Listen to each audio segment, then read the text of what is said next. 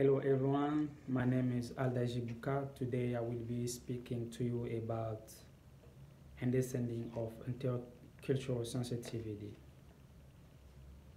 The purpose of this speech is to help you people to understand different level of awareness and cultural readiness. If you look around of you, we all have here from different background, we have different race but the beautiful thing is we have accepted each other no matter who we are. Intercultural sensitivity described across cultural sensitivity or simply cultural awareness. The knowledge and acceptance of other culture and other cultural identities.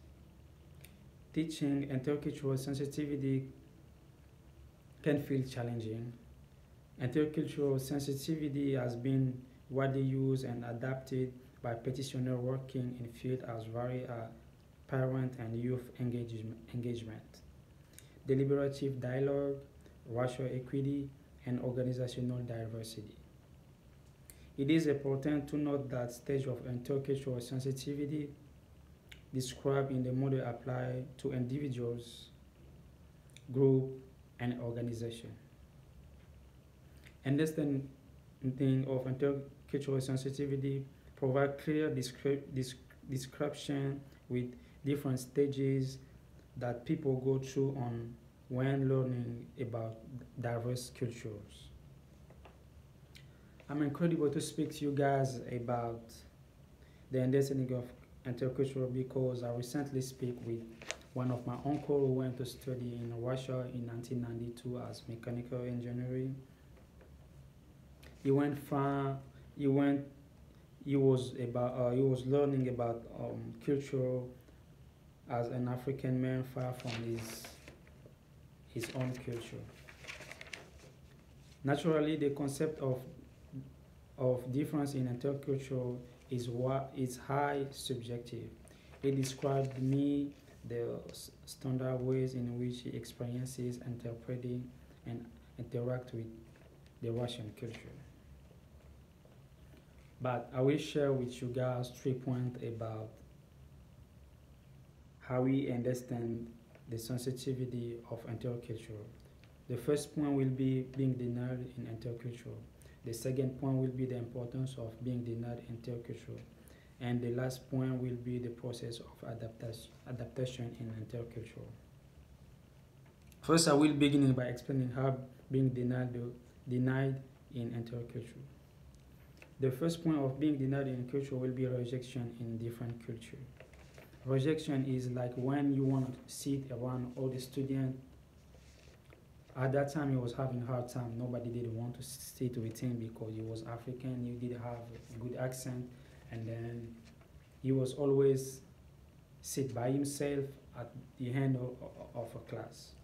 The second part of being denied in interculture will be the naive statement and different different culture.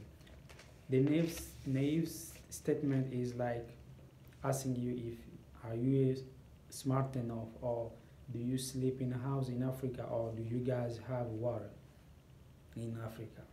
So this is how we explain to me how being denied in interculture in Russia was was happening to him. I have explained uh, the denial in interculture. Now I will cover the importance of being accepted in interculture. Acceptance of be among different behavior. Accepting acceptance of among different behavior can be something that it's uh, very difficult because you always trying to he was my uncle was always trying to feed on that culture but it was not easy because as I speak previously, it was denied in that culture. Also, the second point will be acceptance of different belief in interculture. He was not someone who was he was not Muslim or he was not Christian, but he was someone who was animist, someone who, who believed in spirit.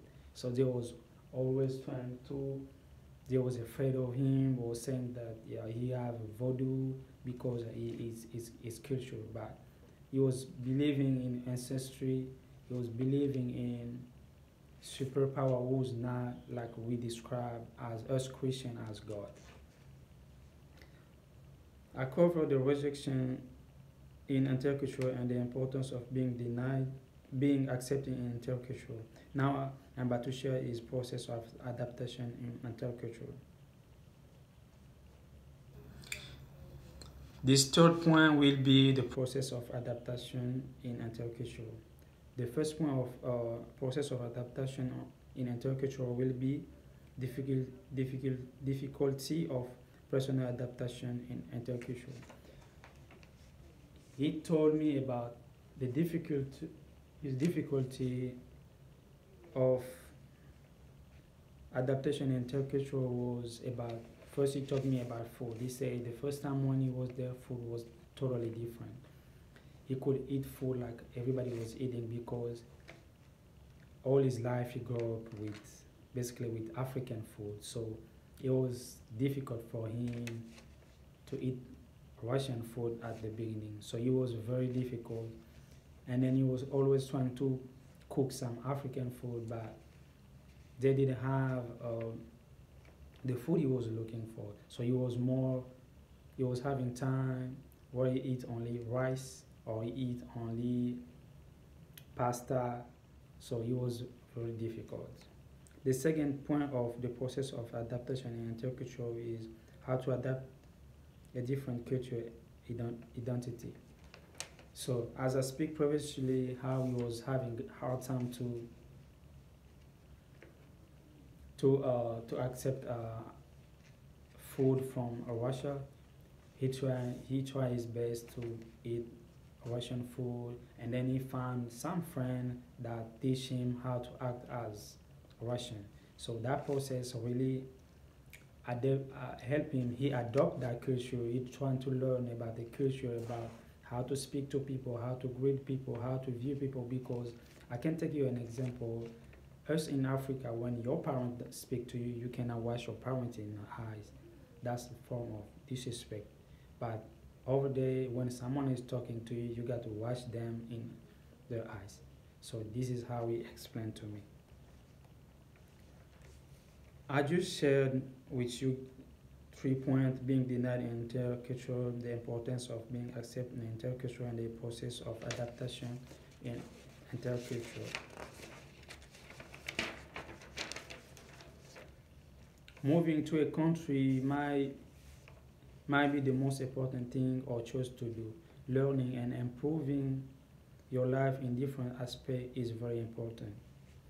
You develop intercultural sensitivity as you begin, begin to experience yourself as member of more than one, one culture.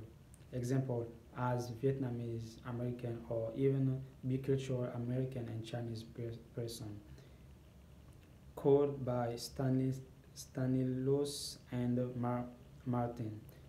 With this code, I want I want you to understand the importance of being uh, in intercultural and developing our mindset to different culture and by impacting other people's life. Thank you.